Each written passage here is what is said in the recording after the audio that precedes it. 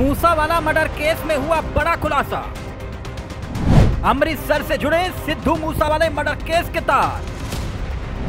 Police ने हथियारों के सप्लायर को किया गिरफ़्तार।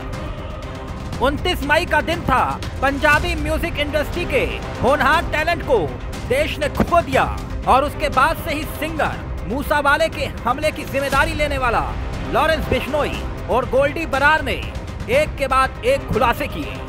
मगर अब सिद्धू मूसावाले के मर्डर केस की प्लानिंग काफ़ी लंबे समय से चल रही थी। ये भी खुलासा हुआ है। तभी 29 मई को इस वारदात को अंजाम दिया गया था। दिन दहाड़े हुई इस वारदात ने सभी को चौंका दिया था। गोलीबारी की घटना के बाद अस्पताल जाते जाते सिद्धू मूसावाले की साँसें थम गई थी।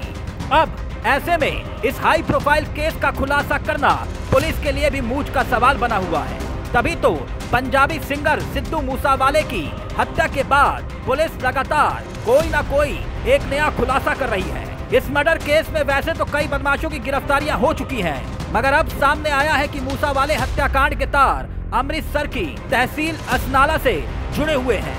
बताया जा रहा है कि शूटरों को हथियार सप्लायर करने वाला आरोपी अजनाला के गाँव तलवाड़ी राय दादू का रहने वाला है। इस आरोपी की पहचान सतबीर सिंह के तौर पर की जा रही है। पुलिस अब उससे पूछताछ कर रही है कि आखिरकार उसे यह हथियार मिले तो मिले कहाँ से?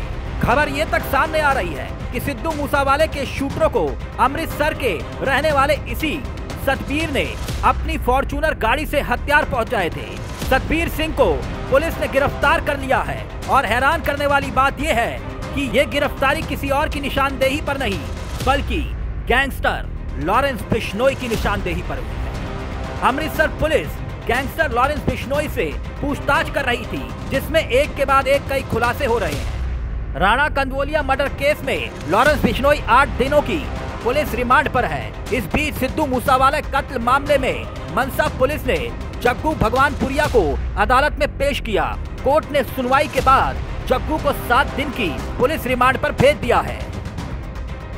यानी साफ़ है कि कत्ल के इरादे के साथ साथ हत्या के पीछे एक एक मास्टरमाइंड के साथ साथ हथियारों के सप्लायरों को भी पुलिस धर पकड़ कर रही है। ताकि पता चल सके कि मूसा वाले का गुनेगार कौन कौन है। Bureau report, news world India.